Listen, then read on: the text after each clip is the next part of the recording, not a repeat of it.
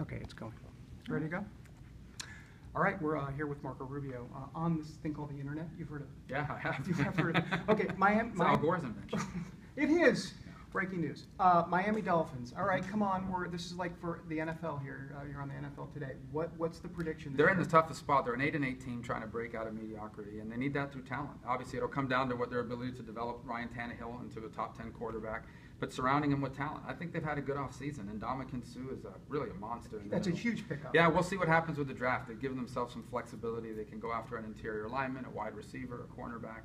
Um, we'll see what happens. Nine and seven, ten and six. No, we got to do better than that. We hope that we're not going to win the division anything less than 11 wins as long as Tom Brady's in that division. This is a, someone told me you're a big time Dolphin uh, encyclopedia guy. I mean, in other words, you know all this trivia.